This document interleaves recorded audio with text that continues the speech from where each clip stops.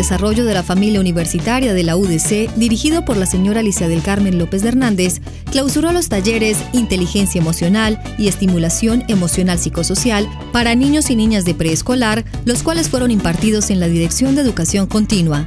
En esta clausura, los niños y niñas participantes de los talleres recibieron sus constancias en compañía de sus padres de familia.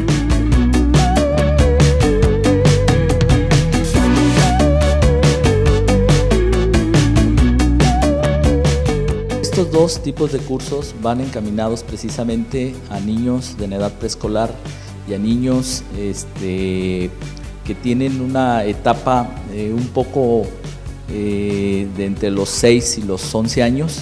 Precisamente estos dos cursos están encaminados a fortalecer el trato eh, emocional, el desarrollo de las emociones, porque consideramos que la educación que se debe de dar en casa o se debe de iniciar en la casa precisamente va encaminado a fortalecer ese vínculo entre padres e hijos, precisamente para que durante su desarrollo educativo y profesional pues vayan teniendo unas bases sólidas.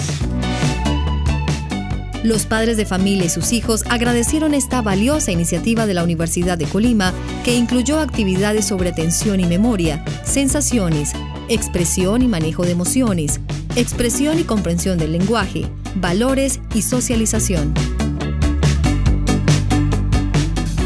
Realmente sí, es sorprendente cómo a, través de alguien que dirige y que sepa del área de psicología puede causar cambios tan significativos, por ejemplo, probar una comida que no había probado, por ejemplo, ¿no? Algo tan sencillo, pero que los hace mostrar un poco más de seguridad o de algunas cosas del explicar el por qué no les gusta hacer tal cosa. Entonces, son cosas que uno como mamá va este, identificando en el niño como pequeños cambios.